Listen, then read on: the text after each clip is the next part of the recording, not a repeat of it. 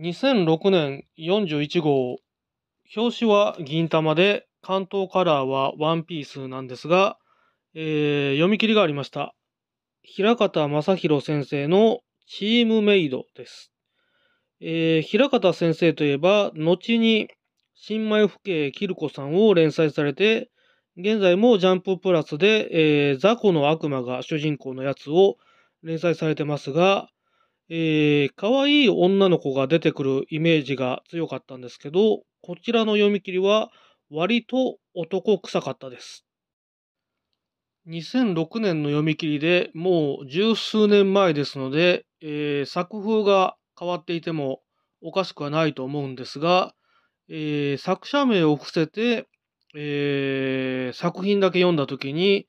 キルコさんと同じ作者ということに気づかないかもしれません。